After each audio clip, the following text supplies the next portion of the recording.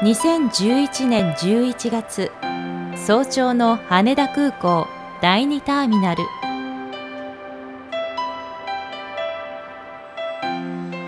65番スポット ANA の7時30分発岡山行き651便。機種はボーイングの新鋭機材787-8 ANA はボーイングから世界に先駆けて787を受領。2011年11月1日から国内線定期便に就航させました。787の最初の投入路線は羽田岡山線と羽田広島線。いずれも JAL や新幹線と熾烈な競争を繰り広げている路線です。岡山に向けて出発準備中の787の1号機 JA801A 1号機とこれに続く2号機 JA802A は機種に大きく787と書かれた特別塗装機。787は何よりも経済性に優れた旅客機を目指して開発されました。ボーイングによれば787の燃費は従来機よりも20%向上しているとのこと。出発前の機体チェックを行うパイロット。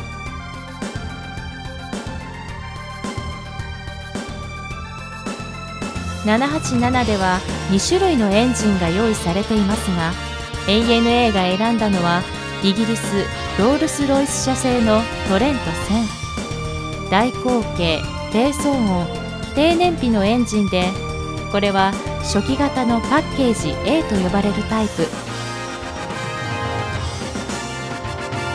エンジンの波型の排気口はシェブロンノズルと呼ばれ騒音の低減効果があります。機体には軽量化のため CFRP 炭素繊維強化プラスチックを中心とした複合材料を大幅に採用。その割合は機体重量のおよそ50%に達しエンジンなどを除けば機体の大半がプラスチック製。素材である CFRP は日本の東レがボーイングに独占的に供給しています。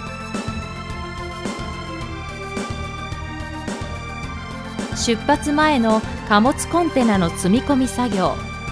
787の胴体は従来の中型機767よりも太くなり LD3 と呼ばれるタイプのコンテナを床下貨物室に2台横に並べて積み込むことができるようになりました。787の8の機体サイズは全長56.7メートル全幅60.1メートル。全高16.9メートル。767と比べると機体の長さは同じぐらいですが主翼が長く幅がかなり大きい旅客機です。この主翼も CFRP 製で製造は三菱重工業が担当。ボーイングの旅客機の主翼の製造を外部の企業が請け負うのは三菱重工業が初めて。主翼の翼端は後ろにカーブしながら上に立ち上がるレイクトウィングチップ。これは空気抵抗を減らし燃費を向上させる効果があります。主翼の他にも川崎重工業が胴体の一部やメインランディングギアの収納室を。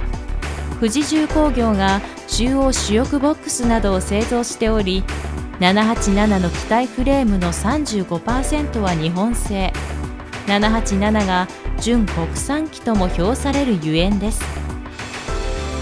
ノーズギア。タイヤは2つ。787のタイヤはブリヂストン製。メインランディングギア。タイヤは4つ。ブレーキは従来の油圧式ではなく電気式を採用。これによりギアの構造もシンプルになりました。垂直尾翼前縁部分のみアルミ合金製。その他は CFRP 製。水平尾翼材質は垂直尾翼と同様。水平尾翼は公園の昇降舵だけでなく全体の角度を変えられますがこれも電動化されています。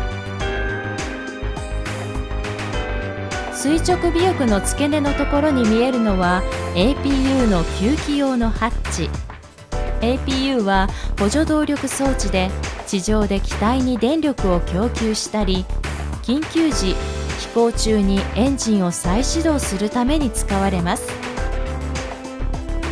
よく見ると機体の各所にはいろいろな突起物があります。これらは各種のセンサーや通信装置広報装置用のアンテナライトなど。787のコックピット。窓は4枚。機体と窓の段差がほとんどなく空気抵抗最小化。ワイパーも空気抵抗を考慮して垂直に停止します。機種のレドーム。内部には 600km 先まで探知できる気象レーダーが収められています。トーイングトラクター。飛行機は自力ではバックできないため出発時にはトーイングトラクターが飛行機を動かします。オレンジ色の棒はトーイングトラクターと飛行機のノーズギアとを連結するトーイングバー。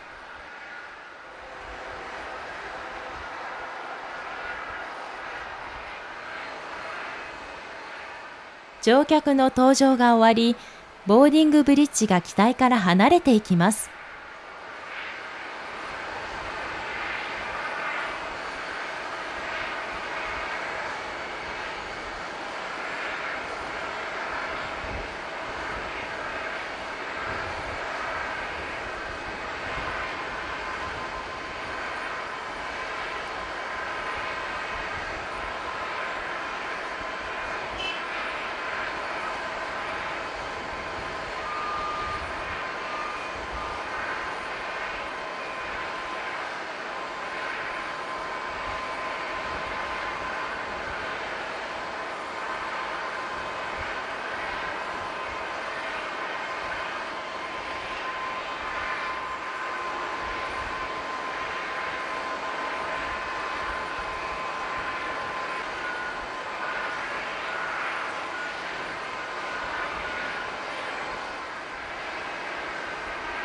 アンチコリジョンライトの点滅が始まるといよいよ出発です。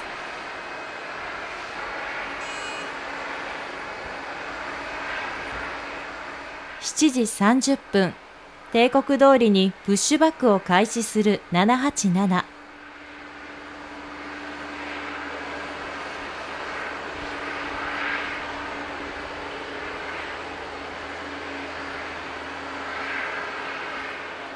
コックピットで見送りの人たちに手を振るパイロット。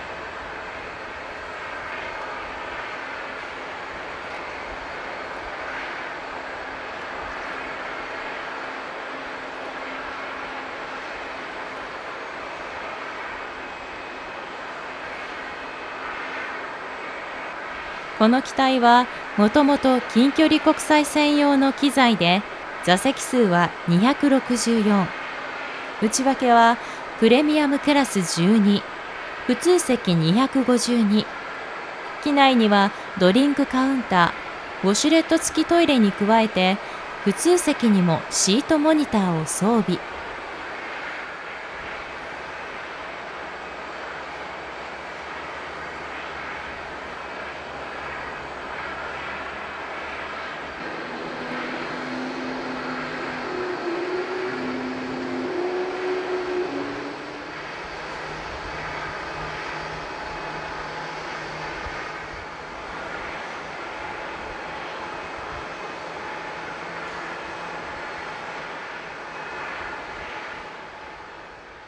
グランドスタッフに見送られて滑走路に向かう787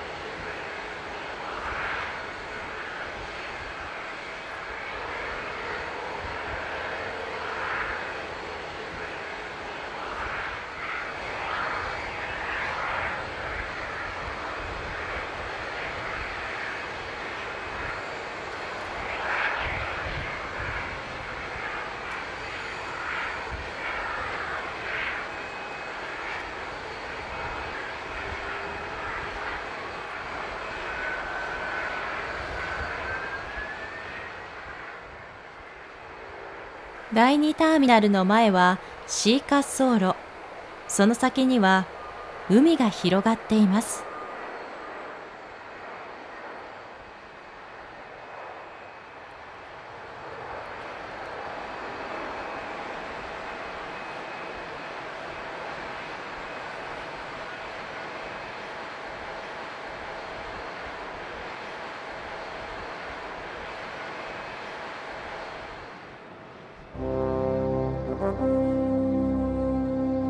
787の向かう先はデ滑走路。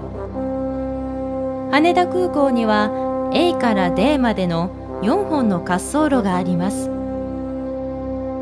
この日は弱い北風。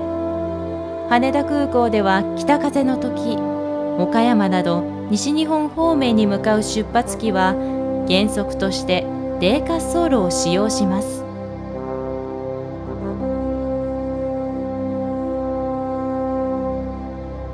低滑走路は羽田空港の沖合の海上にありターミナル側とは桟橋構造の連絡誘導路で結ばれています。低滑走路の長さは2500メートル。幅は60メートル。